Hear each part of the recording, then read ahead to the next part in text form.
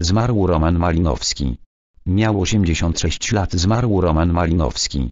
Były marszałek Sejmu miał 86 lat.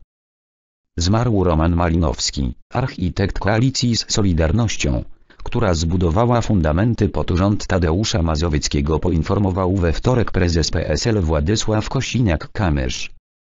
Informację o śmierci Malinowskiego prezes PSL podał na Twitterze. Zmarł Roman Malinowski, architekt koalicji z Solidarnością, która zbudowała fundamenty pod urząd Tadeusza Mazowieckiego. Od zawsze związany z ruchem ludowym, był marszałkiem Sejmu, posłem, ministrem i wicepremierem. Rodzinie i bliskim składam najszczersze kondolencje napisał Kosiniak-Kamysz. Roman Malinowski UR 1935 rok był działaczem Związku Młodzieży Wiejskiej i Zjednoczonego Stronnictwa Ludowego.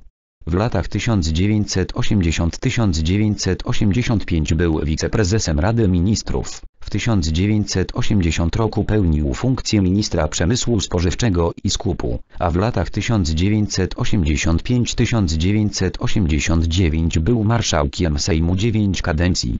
W latach 1981-1989 był prezesem ZSL, był także posłem na Sejm PRL 7, 8 i 9 kadencji.